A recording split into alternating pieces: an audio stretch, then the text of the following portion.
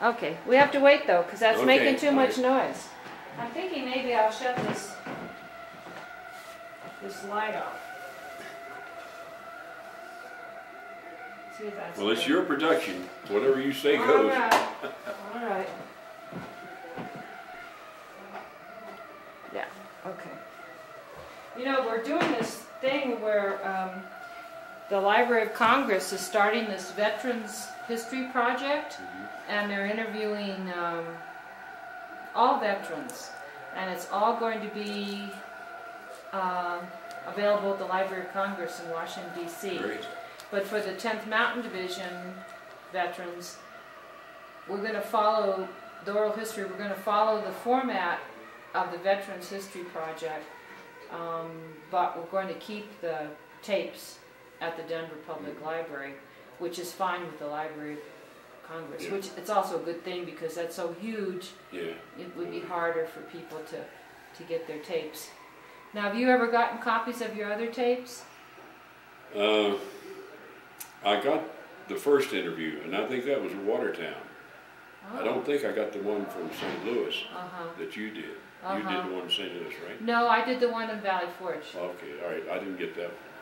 Well, it's gotten where we've gotten so many now, you have to Yeah. ask for it, and then you pay for the tape, and they make a copy for Yeah. you, or, or something. Debbie, like Debbie mailed me a copy of, of the one. I think this is the one from from may have been uh, St. Louis.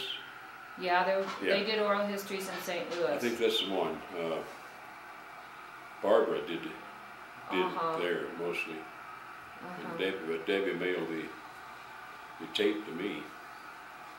But that's the only one I've got. Uh-huh. I don't know. I wish we could scrap all these and use just one. Yeah, You know. yeah, well, we could probably do that, we could maybe make this be, uh, the most comprehensive one. Yeah. And then I'll make a note Because at my age, I may uh, not remember it exactly the same. I won't try to fabricate it or lie about it or anything like that. But it uh, it might not Yeah. come out the same. Mm-hmm. After all, the first one was done ten years ago, I guess. Uh-huh. to it. Uh-huh. Well, that's fine because, you know, it's kind of like pieces of a puzzle. Yeah. And they all come together. Yeah. One of the things that we wanted to do was ask each person the same seven questions, um, just so that we have um, a basis of comparison from Some people's different continuity to Yeah. it. some different people's experiences. So we're trying to get a little bit more professional about Yeah. Yeah. professional about it. And uh, um, so, you know, I'm going to kind of remind you a couple of stories you told yesterday Mhm. that maybe you didn't tell in those other tapes. Okay. Could be. Because when you come here, you have different memories probably than um, you would have. Well, you don't think you forget, but uh, if I went back and looked at the first tape I made, there, there's things I said then that I may not remember today because it's, it, well, sure, things, you know, you at remember. this age you start to lose a, li- uh, some of the Uh-huh. stuff. You know, it's, Uh-huh. it's And you remember some things and Yeah. forget forget other things. Yeah. It's interesting. Neil, he remembered when um, Jap- Japan surrendered Yeah. much more clearly than he remembered when the Germans surrendered. remind me. I, I'll tell you about when uh, Roosevelt died. Okay. I was in Italy in the hospital. It was two o'clock in the morning in Italy. And the nurse came around and whispered, President Oh. Roosevelt just died. But she told two or three people within minutes. The whole hospital knew about it. you know. Huh. Hmm. But uh, and then we, were, uh, I was in the hospital when Germany surrendered too. Mm. Did you? Um, well, Roosevelt was really kind of a real, a real father figure for a lot of Oh, people, huh? Yeah, the uh, he had done so much to pull the country out of its doldrums. You know, I mean, boy, I, I can remember the the hard times during the Depression. They call it the Hoover days, but uh, regardless of who was in, it was, it was just a depression. That's all. And Roosevelt, with some of his programs, which many conservatives criticized severely. even to this day, I occasionally listen to Rush Limbaugh, you know, you're familiar with him. Yeah, And he criticizes, to this day, Roosevelt's decision on Social Security and on, he likes to criticize everything. he everybody. criticized everything except Rush Limbaugh. And the Yeah. Republican. I've Yeah. often said that uh, it, it amazes me that no Democrat can do anything right and no Republican can do anything wrong. Yeah, yeah, And yet this country's been ruled by both equally. I went back and checked it all the way back. And I think there was maybe one difference. Is that right? Republicans and Democrats, so almost, almost identical, same. Sometimes you wonder if we make any progress because it seems like the Democrats undo everything the Republicans do, and then the Republicans move in and they Yeah, undo everything yeah. that the Democrats have done. I'm concerned now about the, where we're going with the national debt. National debt has been a bugaboo to me. We are, there's so much we could do if we were spending that interest money for projects or for, for the good of the country. Mm-hmm, Unbelievable. mm-hmm. And we just keep going and going. They're, they're trillions in, in debt now. Yeah, well, that's what I mean about undoing what the Democrats, The other Republicans took over with a, a nice big surplus, and now it's all gone, and the deficit's gone wild. yeah. And you can blame it on the war if you want, but I heard the figure the other day of what the war has cost. It has n- no, it's just a drop in the bucket of what their, our national debt has increased. Huh, And that's, that's not, that's bad business. that is bad business, isn't it?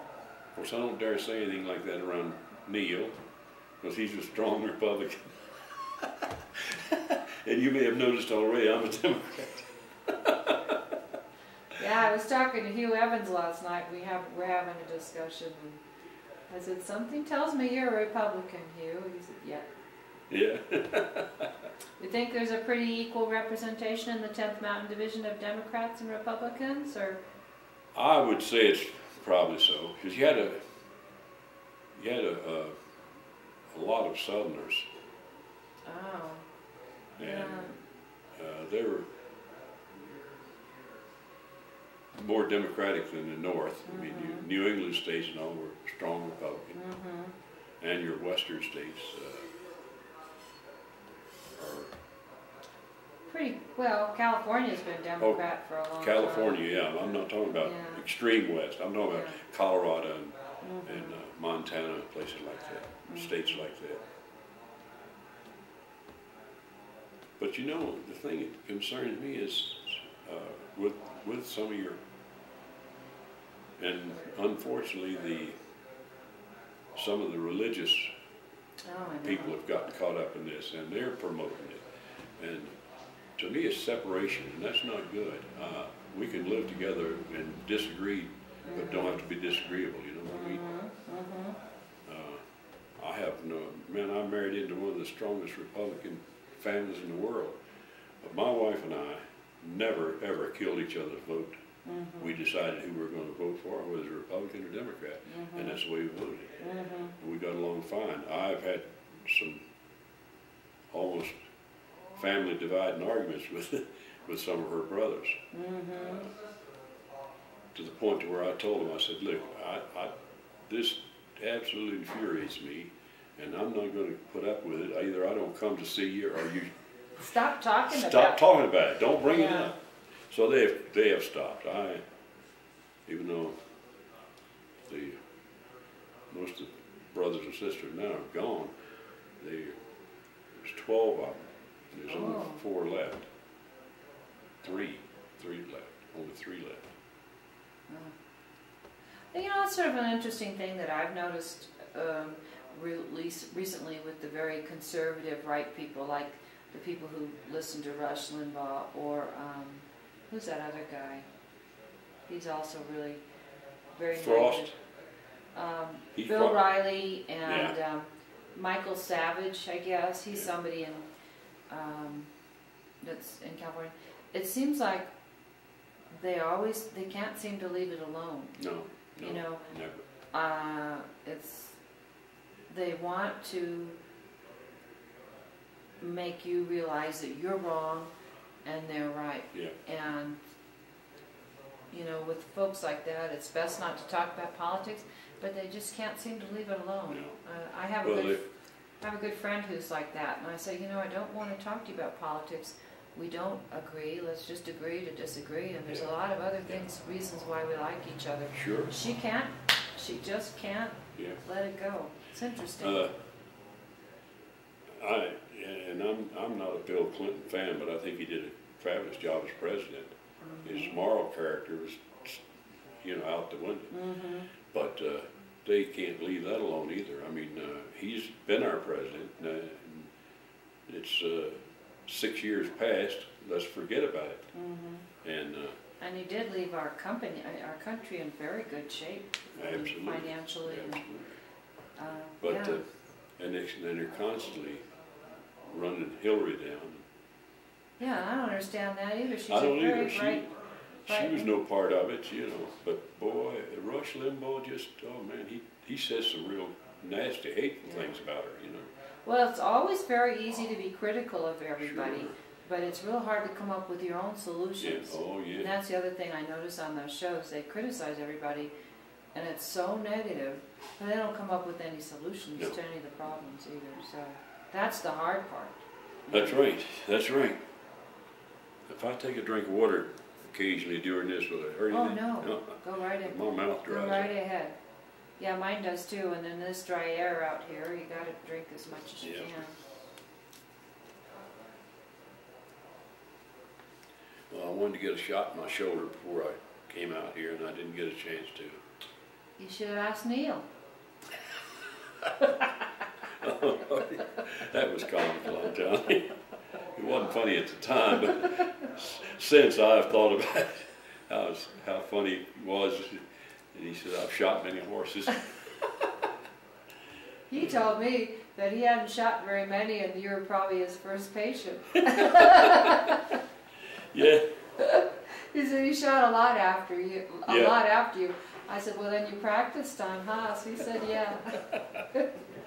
Does yeah. this thing normally take this long? It's, it must be broken. It is broken. It, it does all It's this just weird making all these great noises and Nothing's happening. it's like a little circus act over here and it's not doing anything.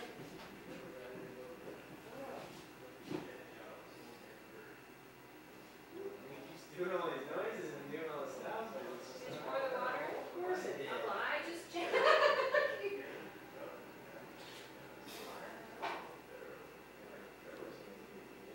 Joke. instant coffee. Yeah. That's jag, I don't know, you know, I didn't make any, I haven't made any coffee. The first day I Oh, I made it. saw the new one was overflowed. Yeah, so I, so I don't know what the trick is. So, huh? They made coffee this morning, somehow. Well, anyway, I don't want to keep you guys. Um, okay, you know, just, you just boil some water. Just put it back on there.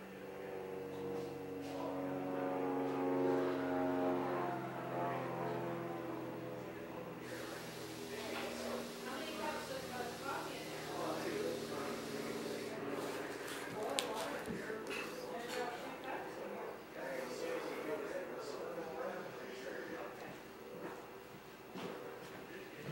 We're gonna go back to the basics, huh?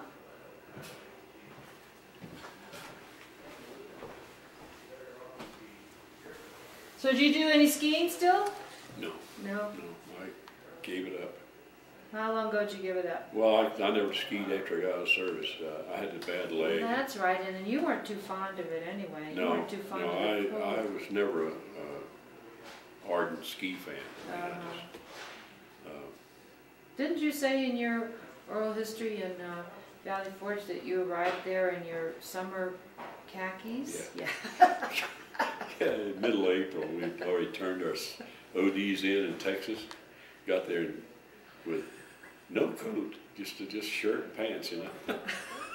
Pouring the snow, and they put us on the back of GI truck. Oh boy. I'm telling you. Welcome and to Colorado, to make it even worse, we they took us to a barracks had been empty for maybe it never had anybody live in it. I don't know, but there was had no, no it was completely vacated for quite some time. There's no heat, no water, no nothing.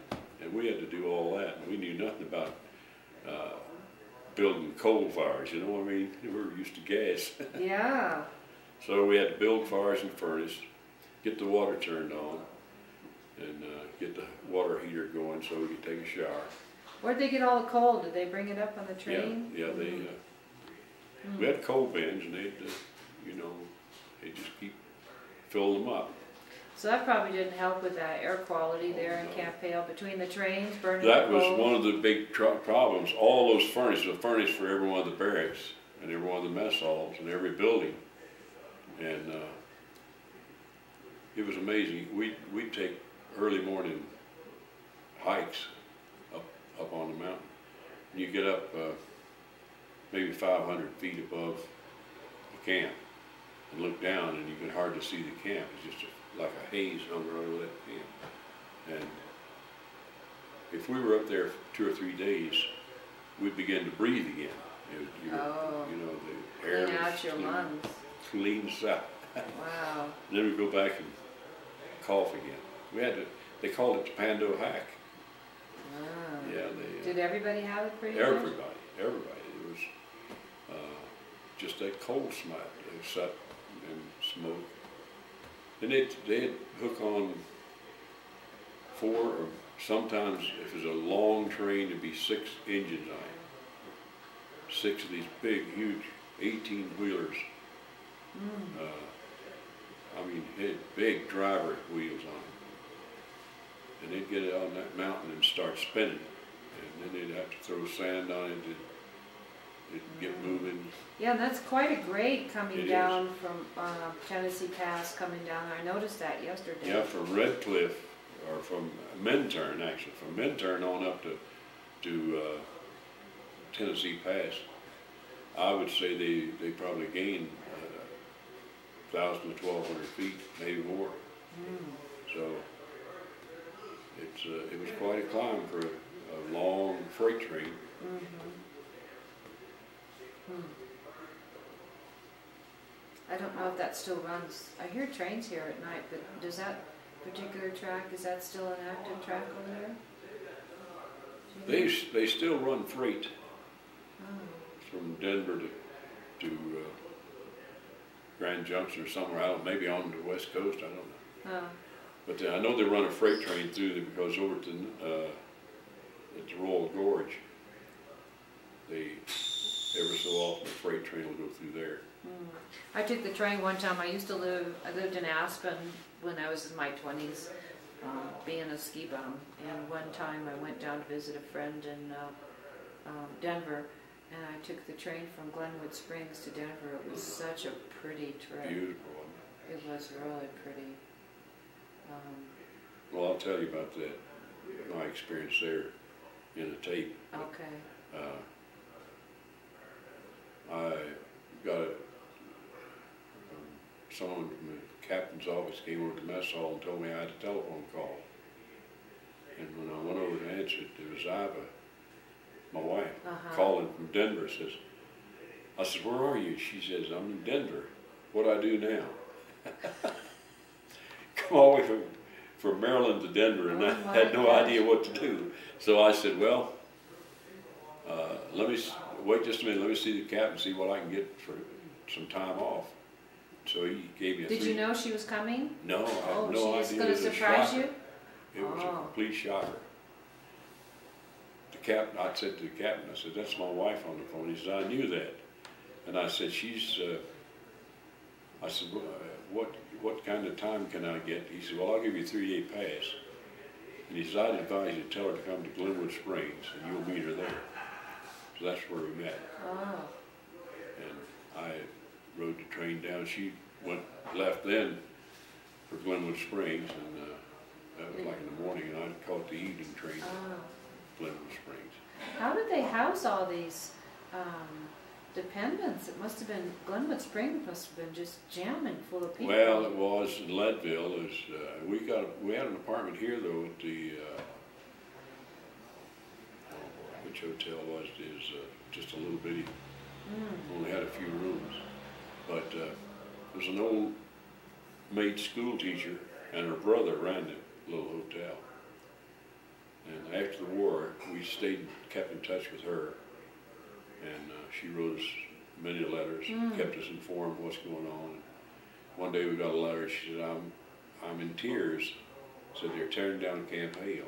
Oh, Said it's such a shame, they're good buildings, beautiful Uh-huh. buildings, and they're just wrecking them, you know? Of course, Uh-huh. they, they salvaged some of the good stuff, but they still wrecked a lot. Uh-huh. But, uh, we stayed in touch with her until finally she moved over to, uh, Manitou Springs, or near Colorado Uh-huh. Springs. And, uh, we were there on vacation, Ivan and I were, and we called her up and wanted to go see her, and she said, no. I don't wanna see anybody, and I don't want anybody to see me. oh, She said, I am not in good health, and I'm, said you wouldn't recognize me from what I Oh. looked like when you saw me. This was, uh, this was probably twenty years after the war is over, oh, oh, so I never did see her. oh. That's too bad. But we used to, Ivan and I used to take, take care of the front desk for them on Saturday mornings so they could go shopping and get out for a while. Huh. Huh. Sometimes that's hard for people when they get older and they Yeah. don't feel very well. You You have an awfully nice grandson, you know that, don't you? That took way too long though. Well, I'm sure the coffee's really good. Yeah, I think it is. I'll shut the door behind you so we don't have those voices in the background. You want anything, Neil? You want some more water? I'm gonna shut this door. Is Neil, is, is Neil gonna stay around and have lunch with me? Oh, you wanna ask him? Yeah. Neil? You wanna have lunch after I finish here? Have lunch? Well, it's not yet, but it will be time she gets finished. I mean, well, yeah, it's like five minutes to one. Well, that's all. That's all we're Uh, Yeah. Uh, It's five to eleven. what Ten to time do you- eleven. Can, can you spend the night tonight? Well. Well, don't go until I get out of here and we'll discuss. I'll, I'll let you know whether you can go or not then after that, okay? Okay, all right.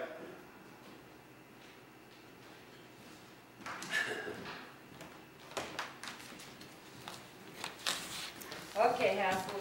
I'm going to start. I'm going to just say who I am and uh, where we are and the date. I got that wrong this morning already, but now I know the date. And then um, I'll introduce you. And then you could start with um, your name and your birth date and uh, the unit. You know, you know, you got that part. And then I'll ask you, you want some me to questions. say anything about my service before the tenth? Yeah, yeah, Yeah. you should go ahead. We talked about that, I think, Yeah. in Valley Forge, but you could go over that again, just Okay. your military history and where you were when you decided to get into the army and mm-hmm. whether you got drafted. Yeah. And, all right. See how you are. You're fine. We're. Oh no, we're we're recorded. Huh? How did that happen? Can you back that up and erase it or what? I don't know how to do that. Let's just go. I'm Myrna Hampton, and uh, we are here in Leadville, Colorado at a Descendants Board meeting. And uh, it is July 19th, 2003. And I'm talking here with Hassel uh, Vass, and uh, he's going to begin his oral history right now. Yes, I am Hassel Vass. I am 81 years old. I was born on the 10th of July, 1922. I uh, spent my youth on a farm, and then when Where were you born, Hassel? I was born in uh, Carroll County, Virginia, in a rural area called Fancy Gap, Virginia. And uh, I married Iva Rakes in June the seventh, nineteen forty-one. And we lived in the Virginia area for a short time, then moved to Maryland, to Baltimore, Maryland. I went to work in the Glen O. Martin Defense Plant, helping to build airplanes. And from there, I was drafted into the Army. I went to Fort Meade in Maryland, was inducted there. And from there, I went to Fort Bliss, Texas for basic training. And after finishing basic training, I had a problem with uh, the dust. It affected, in, infected my throat, and I had a couple bouts with a real infected throat. So it was the advice of the first sergeant that I should should get out of that dusty climate. So he says, I have two cadres going out, one to Seattle, Washington, and one to Camp Hale, Colorado. He says, which one do you want? And I chose Camp Hale, Colorado because it was closer to the East Coast. I uh, was not necessarily interested in skiing or winter weather or anything like that. I just thought it'd be a little closer home. But it, it turned out to be a very, very good move for me because I really enjoyed the 10th Mountain Division. Uh, as I said, I took basic training in Fort Bliss, Texas, and left there in mid-April. I had already turned in my OD uniform and was in suntans. And when I got into Camp Hale, or into Pando, OD stands for olive drab. olive drabs, Yes. okay. and uh, that was a wool uniform. And so when I got into Pando, it was pouring down snow, and they put us on the back of GI trucks and brought us into Camp Hale. And I thought that I'd made a humongous mistake, but it certainly didn't look very encouraging. uh, You're probably freezing to death. Absolutely. And uh, no jackets, no coats, no anything. And so when we got to the barracks, I thought, well, we'll get in the warm barracks anyway, it'll help. But when we got in the barracks, no one had lived in these barracks for months, if ever. And uh, there was heated by coal, and there was no coal fire. We had to build the fires, and uh, most of us knew very little about building a coal fire and a coal furnace. But anyway, Was somebody there to teach you? no, we had to learn the hard way, just uh, just by trial and error. But we got the barracks heated up, and after, um, well, a few, couple of weeks, then the, the weather cleared up, and we got some nice weather. I really enjoyed the summer here at 43. It was great, and uh, we had uh, 12 NCOs and a couple of officers. We were the beginning of these 727 anti-aircraft because we'd come out of an anti-aircraft unit. Now, did you meet um, Neil down there? Because he was at Fort Bliss, I think, learning. No, he was at Fort uh, Camp Davis, Davis, North Carolina. Oh, okay. That's where he came That's from. where he learned. Yeah. Okay. Uh, I didn't meet Neil until uh, he came into into the unit in Camp Hale, and I don't remember what exactly what date. So we got several different groups to form the outfit. We got uh, a large group from the Mojave Desert, uh, from an anti-aircraft uh, unit there. We got some from various other places, smaller groups. Then uh, we, we trained as anti-aircraft for uh, quite some time.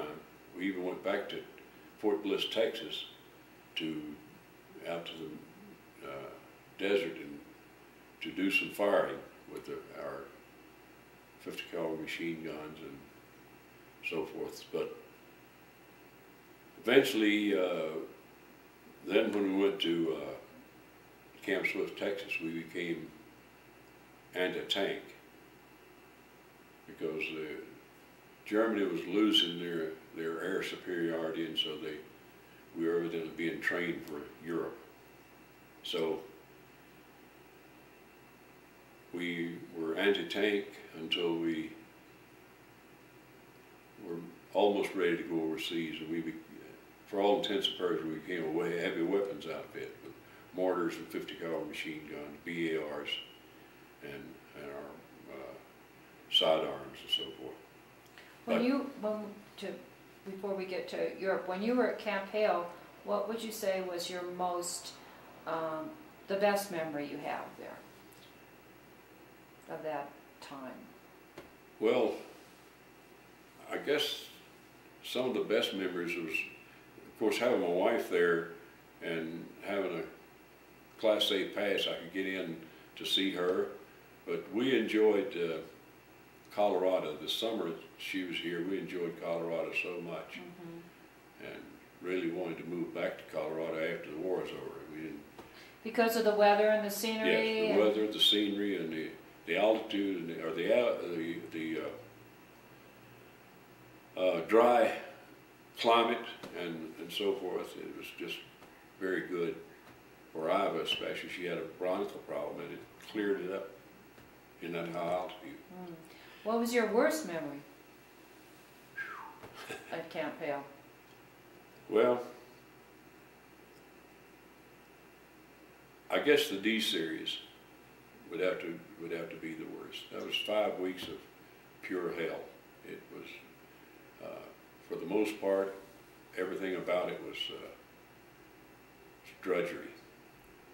The, the snow was deep. The the weather was terribly cold, and uh, we moved constantly and uh, just couldn't settle down to, to enjoy any part of it. It was the way I looked at it. You just did, uh, that's not to say that we didn't enjoy some of it, but most, for the most part, that's my worst memory, the five-week maneuver. Now, you were saying yesterday that you, you got really strong though during that time and you used to sometimes, uh, you could walk a long ways. Oh, yeah, yeah, I, uh, I had a twenty-nine inch waistline and weighed hundred and seventy-five pounds. And I could hike with, you know, without any problem. Uh, even the altitude didn't, didn't affect me that much after getting used to it. Uh-huh. You mentioned yesterday you used to walk sometimes to Leadville? You Yeah. couldn't get a ride? Yeah, we'd start out hitchhiking and walking, but many times in those days there wasn't many cars and on the road, so many times we'd have to walk and the, it would, uh, we'd just keep walking until we got a ride, or if we didn't get a ride, we'd walk all the way in. Um, you celebrated your 21st birthday in, uh, how old were you when you joined the Army? Uh, I was twenty, 20. yeah, And you celebrated your 21st birthday at Camp Hale. yeah. They had some special event for you? Yes, the, the general, uh, and I'm sorry, I don't remember which, which one it was. Uh, we had several others, uh, ser- other than uh, our uh, General Hays and General Ruffner. But anyway, they had us up the field, or the, uh, I guess it's a field house, yeah. And, and wanted everybody that turned twenty-one, since they came in the army, to gather there, and they had a ceremony for us. It was, it was rather nice. What did they do? Well, just made some patriotic speeches and thanked us for volunteering. yeah, but uh, it was a, it was a nice affair. But, So you went, you were down at um, Camp Swift, Fort Swift, and then you were finishing up the training, and then what happened? Well, course, we all got a furlough before we went overseas. We got a 15 day furlough. And I got a furlough from Austin. Stood up on the train most of the way for three days and nights. I remember one time I got to sit down, a lady with a baby said, I have to take my baby and for a change. Would you hold my seat for me? Mm-hmm. And I gladly did, and she was gone a couple hours. She purposely stayed gone so I could have the seat, I guess. That was But- nice, huh? Yeah. There was a lot of good memories like that, you know, uh, in traveling. You, Mm. you run into some real stinkers, but you run into a lot of other people that sympathetic to the serviceman. And uh, Now, was Iva, did she travel, did she go with you down to, She had gone home already uh, at this to time. back to Maryland? Yeah, she'd gone back to Uh-huh. Maryland already. Actually, she'd gone back to her parents in Virginia. So, Did you get to see her before you shipped out? yeah. Yeah, with this thirty, or fifteen day furlough. I So you stood on the spent- train for three days to get back to East Coast to Yeah, see her before you Yeah. shipped out? six, six days of that furlough was spent on the train. Oh, boy. Yeah. I left home in a blinding snowstorm. And my brother brought, took me to the, to this train station down in Virginia. That's where Iva was. And so I, that's where I went on furlough. And, uh, I left him and my wife both crying, so it, took- it made a kind of a sad trip for me too, Oh, bet so. knowing where I was going, you know. Yeah. When But- did you leave? When did you, do you Well, remember this the was, date? this was in uh, mid-December. Uh, we spent Christmas Day on the train going, heading for the port of embarkation. I Ah. helped cook Christmas, Christmas dinner on the train. So, uh, I had one of the troops some time ago tell me that that was one of the best memories he had is eating that turkey dinner on the troop train and figuring that's probably the last good turkey dinner he'd get. so Was he right? He was right. They we didn't serve many turkey dinners in Italy, believe me. uh, it was uh, K rations, C rations, whatever over Mm. there. What was it like on the ship? Rough. Rough. What ship were you on? Do you recall? I do not recall the one I went over on. I Uh-huh. recall very well the one I came back on. I bet. tell you about that later. Uh, but we, uh, Colonel Cordes, who was our battalion commander, said, I've done you a favor. He said, I volunteered you for, for uh, mess duty.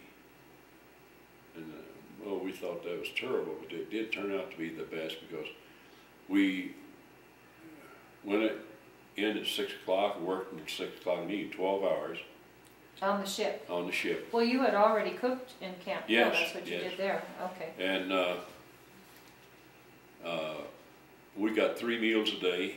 The troops only got two. They got one at six o'clock in the morning. If they ate at six, they ate at six in the evening. If they ate at eight in the morning, they ate at eight in the evening or whatever, you know. It, it was 12, every 12 hours you got a meal. And uh, we got three and we got to eat what the sailors had and that was sometimes steak. The sailors ate better than All Oh, the sailors ate, they, they, had, they had a regular ration. What's the deal? How come? they were that was their duty. you know, they're they were on duty. We were just uh, freeloaders. You know.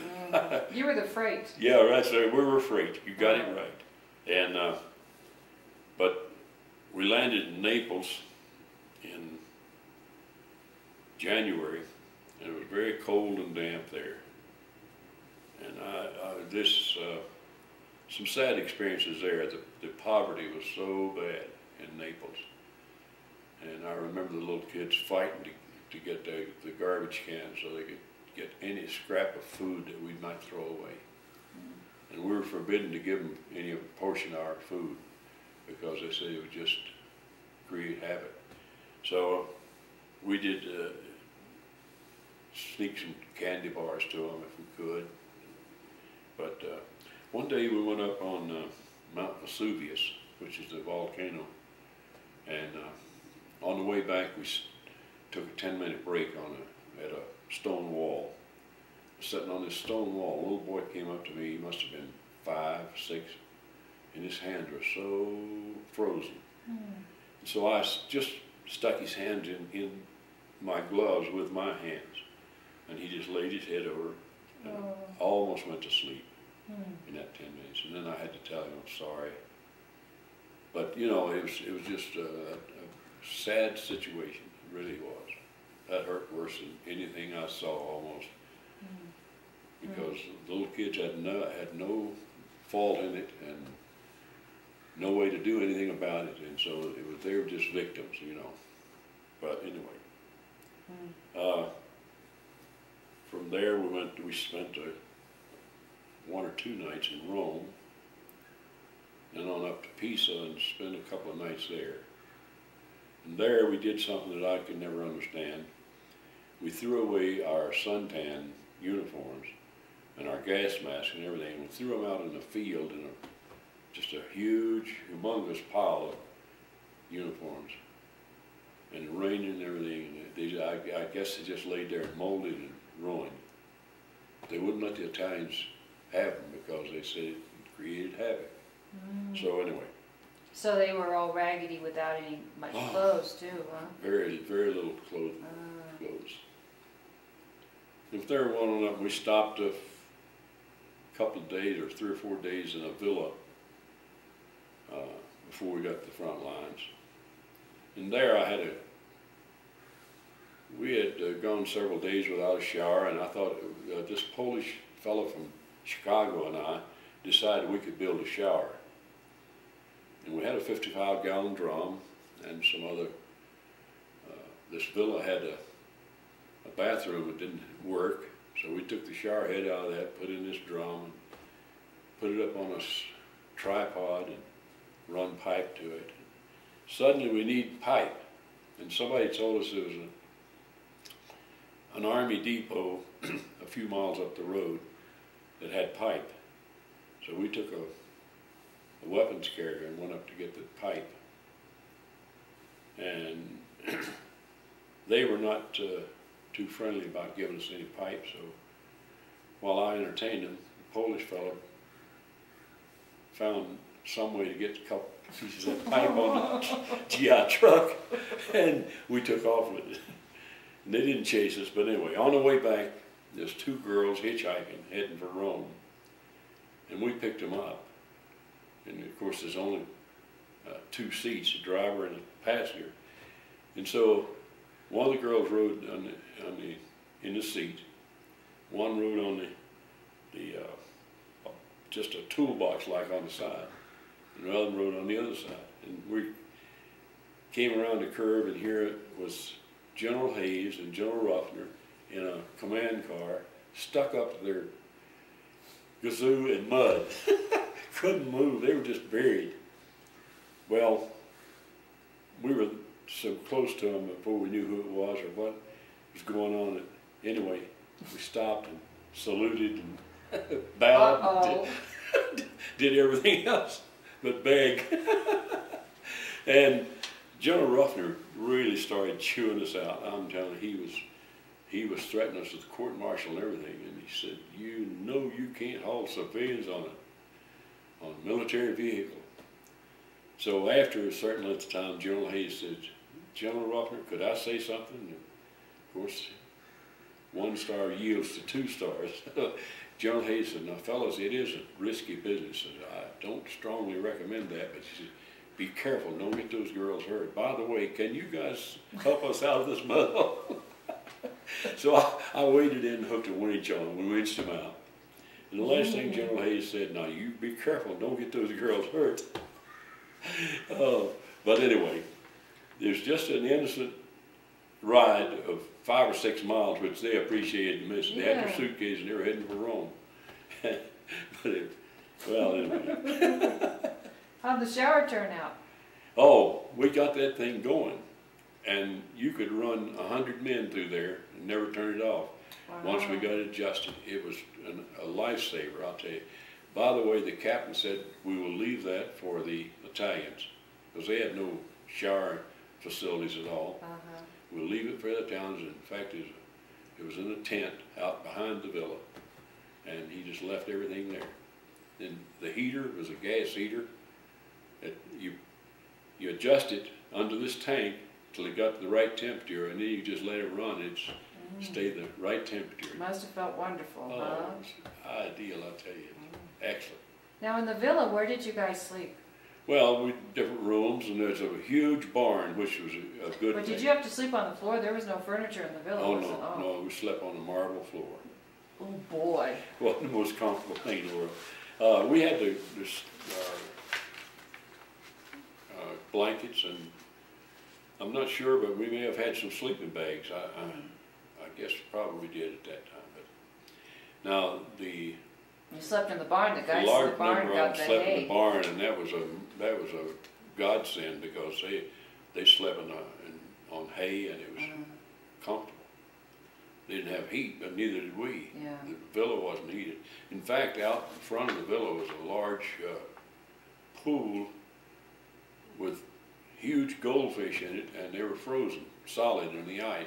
We built a fire and thawed it out because we thought the fish would, were, would be dead. They weren't. They thawed out. They started swimming. oh, but then from there we we went on up to the front lines. what town was the villa in, do you remember? No, uh, Like, a lot of you guys stayed in Montecatini for a while, I guess. Yeah. This was not in a village really, it was, Uh-huh. it was out in the, if I remember correctly, it was, it was out in the country almost by itself. It was up, set up quite a ways, you had a winding road up to it. And so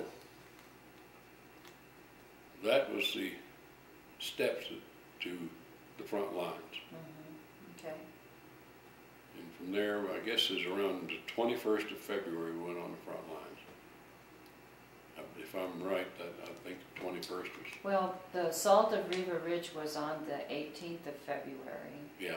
and Well, we were there a couple of days after the Uh-huh. original, initial uh, assault. Mhm. And the first morning was a pretty tough morning because I saw two of the fellows get uh, completely wiped out, killed. and that was your first, um, time to be in That was my first experience with, with war. Mhm. And one young fellow, I, I had no idea who he was. He wasn't. He was a 10th Mountain man, but he wasn't in my unit. And he was blown off by, by a mortar shell, blown off, and landed in some brush. And uh, it was straight up, no way I could get to him, and nobody could get to him from the top. And he just laid there and bled to death. It was Oh, a horrible sight. Pleading for help.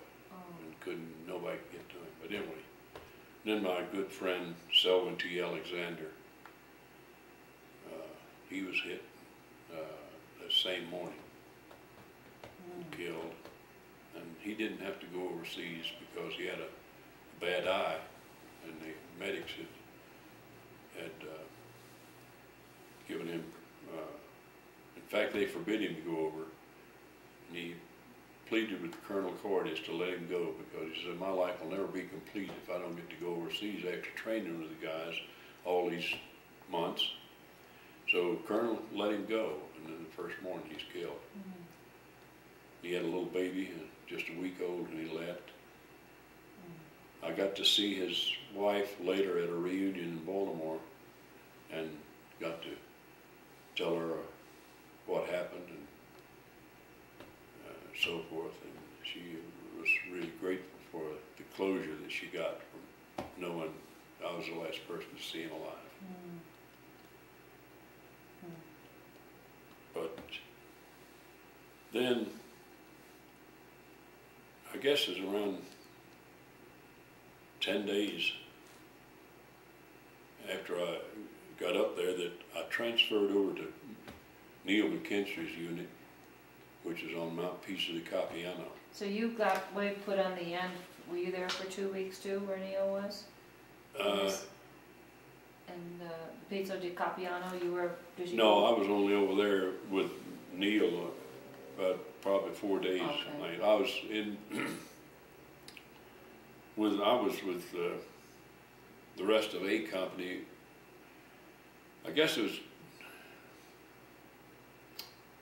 Oh boy, I don't remember these Italian names, but anyway, uh, it was uh, several hundred yards from where from Pizzo di Campiano. Was it the Capabuso? Yeah, it- that's it. Uh-huh. Yeah, That's where we went up. And uh, then, after went over to Pizzo di Campiano, and uh, that's where I was wounded on March the 2nd. Now, how were you wounded? What happened? Well, a grenade came in the foxhole, and we had an L-shaped foxhole, and one side was covered with a slab of stone, and we took turns. One be on an hour, another one rest, and so this is my hour be off. And the grenade came in, and my buddy Bradford, he he fell out of the foxhole and piece hit his boot, but it didn't hurt him. Mm. But I had no way I could get out. I was in under that slab of stone. Just instinct told me to just stay there. Mhm. I did, and of course the grenade was under my leg, and I got 14 pieces of shrapnel in my Mm. right leg. Mm. That was eight o'clock in the evening, and it was eight o'clock the next morning before I got out of the foxhole. And it took another eight hours to get me down off the mountain. And uh, I have uh, since expressed many times my uh, appreciation for the 126 engineers for building the tram because I got to ride that tram across, which saved hours of, of time of men carrying me across on the litter. So, So how did you cope with the pain up there? uh, well, to get me out of the foxhole is, I was so stiff and sore that rather painful. A fellow named Neil McKinstry said I might be able to help, and he had a, a tube of field morphine, and he shot me with that, and uh, he says, "You don't have anything to worry about." He says, "I, I've shot many horses, and I know what I'm doing." And I thought to myself, yeah, I've seen a lot of Western movies where they, shot the horses that had a broken leg, and I have a broken leg.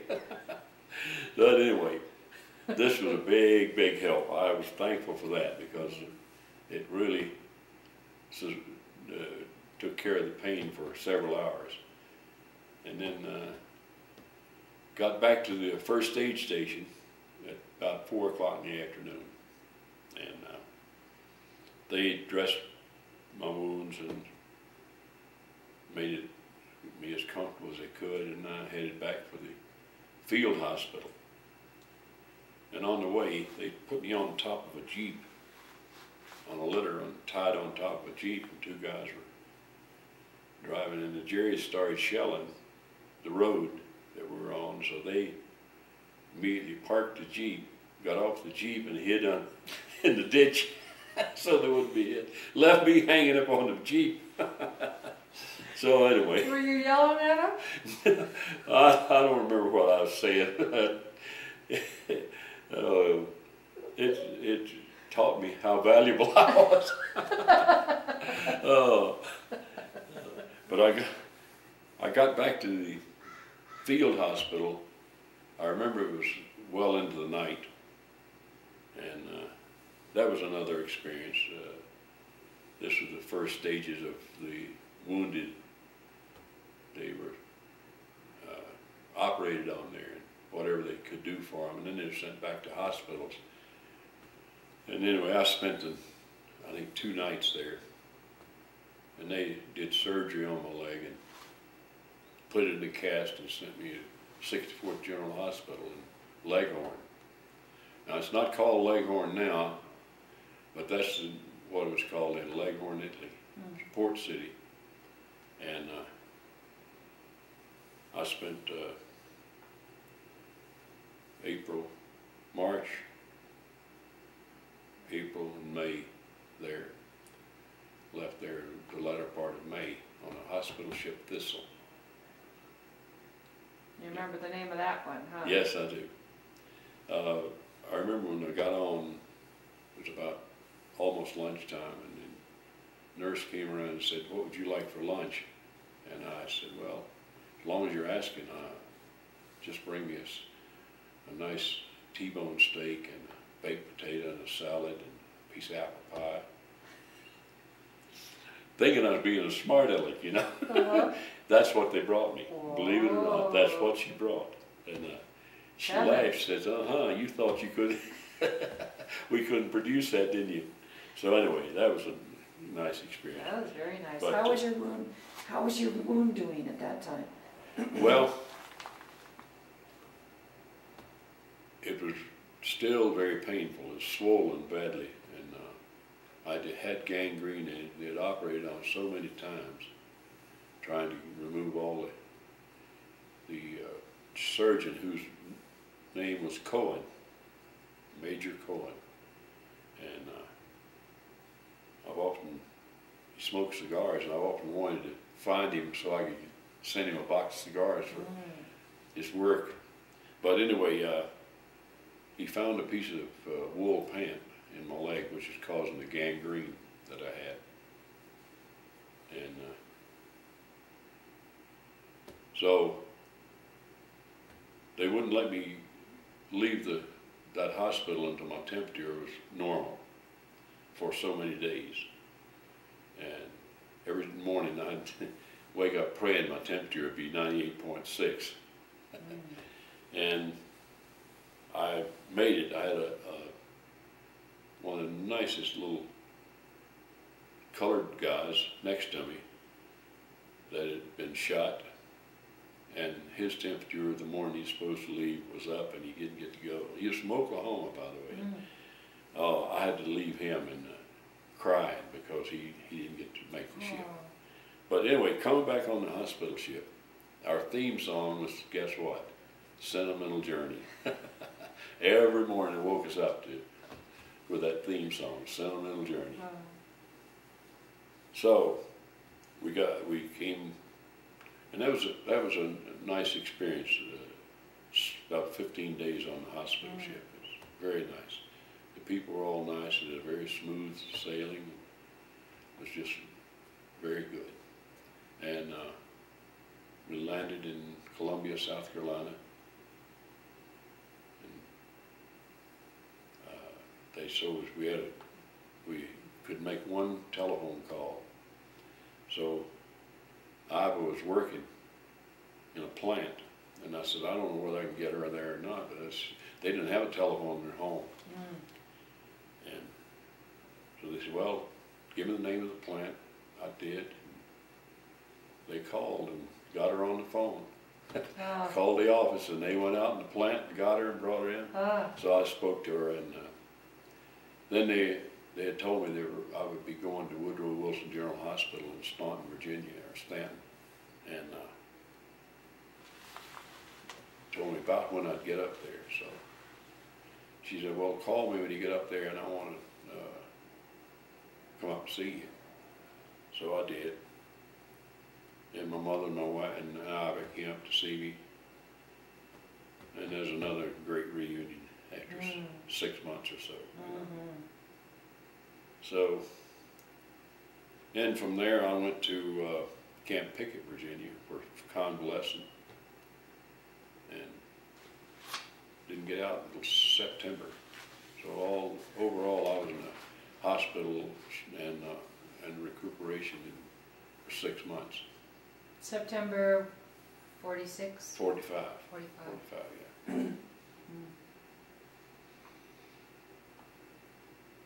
And then what happened? Then you recouped and did you get out of the military shortly thereafter? Yes, I did, uh, twenty-fourth of Dec- of, uh, September, I was discharged Uh-huh. from Camp Pickett. Were there any difficult parts of transition for you from being in the military to being back in family life and civilian life? It was a, it was a real struggle, really was. I couldn't be satisfied anywhere. I don't know why, you know. I just and uh, I didn't. Uh, I didn't know what I wanted to do. I couldn't do what I wanted to do because I and I'd already decided that we'd stay in the military. I wanted to stay in the military, and after being wounded, of course, they they discharged me. But anyway, uh, I finally went back to, from Virginia back to Maryland and worked a short period of time in a defense plant. Uh, wasn't a defense plant then; it was a. They were actually transition is a transition from defense to civilian, and. Uh, I had several jobs. Then I got into sales, and from there, that was all I wanted to do was work in sales. I worked 25 years for the one oil company and retired from there. Mm, mm. So you just had a restlessness because you sort of had one goal and, Yeah, because uh, I think this, the biggest thing was I couldn't do what I really wanted to do. yeah. And, uh, you know, you get the feeling it's unfair, Mhm. which is not right. Uh, it wasn't a matter of fair and unfair, it's just, I, that's the way I felt. Mhm. But, uh, things worked out. Mhm. How come you never came back to Colorado? I mean, you're here today, but, We, we wanted to come to Colorado and fully intended to, but we couldn't get enough money to get- out of town, so. By the time we did, we had made so many friends in Maryland, we didn't want to leave really, that's, that's. But we loved Colorado, both of us. We came back several times. for vacations? For vacation, yeah. Um, is there anything else you'd like to say in this oral history that you haven't said? Well, I've said too much already. No, you haven't. Uh, If anything I've said sounds like us bragging, uh, it's not the case at all. It's uh, simply, uh, well, you wormed a lot of it out of me. But, uh, uh, I just, uh, I am so grateful for the young men who are fighting today.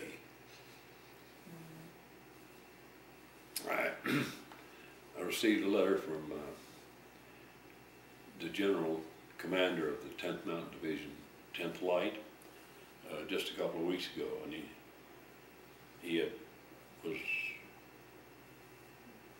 announcing a, a get-together of the vets